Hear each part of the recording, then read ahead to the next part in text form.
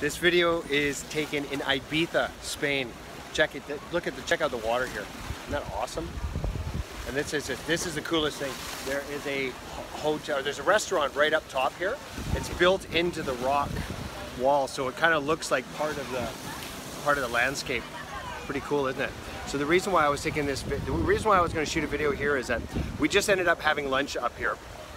And the, the price is like, I mean, this is the only restaurant in the whole area. So you can just imagine, like this, look how remote we are here.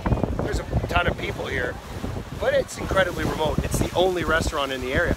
And so literally, I think we ordered a hamburger and it was like, it was like $40 for just a regular hamburger for my daughter. Like, and she's six. It's insane. But really, it all comes down to simple economics. It's supply and demand. And so it totally makes sense. Why would you not charge that when you can? Because there's more demand and the, with less supply, right?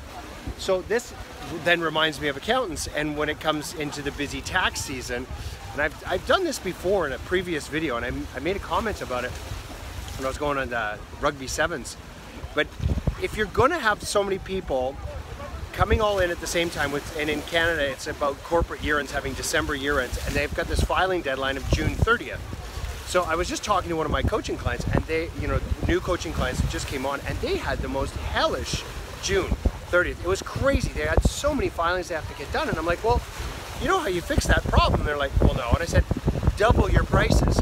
Anybody who comes into your office that has a December year end from this point forward, you should be charging them double your, your, your minimum because literally you look at supply and demand. Everybody's demanding to have December year ends, then charge more and do less of them and make more money. It's it's simple economics. It's supply and demand. It's just like like here, like like every one of these people, like think about this, all these people here going up to this bar up there and paying $40 for a hamburger. And why?